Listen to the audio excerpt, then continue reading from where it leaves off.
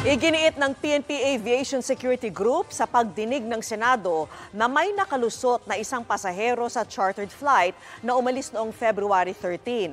Sabi naman ng Bureau of Immigration, dumaan sa tamang proseso ang pitong pasahero sa flight kahit pa inihabol lang daw ang huli sa kanila. Nakatutok si Mav Gonzalez.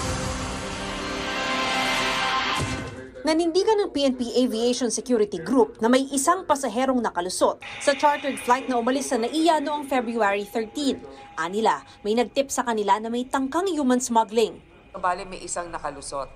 Paano kayo nakakasiguro na nakalusot yon? Kasi yung sinabmit sa amin na galing dun sa Dubai na uh, clearance form pag land nila, pito lang yung pasahero, pero sigurado kayong walo yon. Yes, Your Honor. Pero ayon sa Bureau of Immigration, pito lang ang pasahero sa flight bukod pa sa tatlong crew. Pero ang pampitong pasahero, idinagdag lang pala bago ang flight. Did you have adequate time to check the identity of that person, to uh, double check with Interpol? Yes po. How did you do it? Um, for their checking po, the one passenger na idadagdag po, I called the office po and gave them gave them the information like passport number, the the first name and last name and then the date of birth. And then while on call, just waiting lang po, uh, hinintay ko po na ma-affirm na wala pong dero hit. So, meron po siyang arrival stop, so ibig sabihin dumating po siya, na-admit siya nung arrival po. So most probably wala naman po talagang hit. Naroon din sa pagdinig ang Globan Aviation Services Corporation, ang ground handling company na humawak sa naturang chartered flight. Parati po sinasabit namin lahat ng pangalan. Wala kaming tinatago. Nagturoan naman ng iba't ibang ahensya matapos madiskubring may mga pagkukulang sa proseso, gaya ng walang pirma ang PNP AVSA Group sa pre-departure clearance ng eroplano. Hindi rin daw sila nakapag-inspeksyon.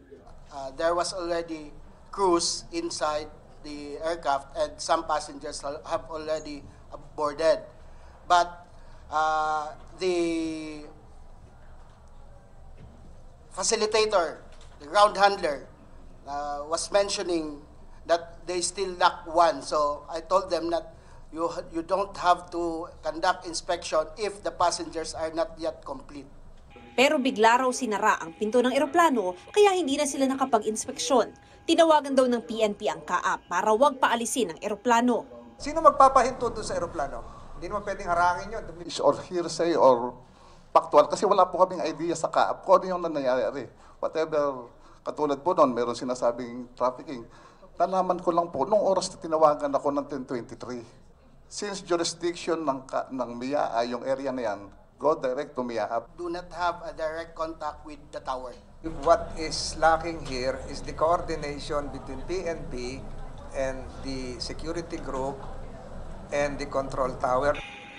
Noong nakaraang Disyembre, may insidente rin daw na nakaalis na eroplano nang hindi dumaan sa security inspection. Ayon sa Manila International Airport Authority o MIA, sinisante ang isang empleyado at sinuspindi ang isa pa ng sangkot na private aviation company. Sa kaso naman ng Globan Aviation Services Corporation, sabi ni Senador Rafi Tulfo, to recommend the cancellation or suspension immediately of the license of Globan. Kasi po itong Globan, nakadalawang beses na po ito.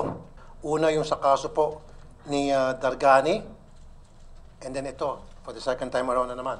Wala pang tugon dito ang Globan. Aminado naman ng NIA na maluwag ang seguridad sa mga pumapasok sa restricted security area kung saan nakaparada ang mga eroplano. Chinek lang po nila is yung driver. Hindi ho yung pasahero o yung mga sakay dun sa mga sasakyan. Nababahala rito ang mga senador. This incident raises not only the possible smuggling of individuals, but also non-compliance with airport regulations, which put at risk our national security. Para sa GMA Integrated News, Mav Gonzalez, Nakatutok, 24 Oras.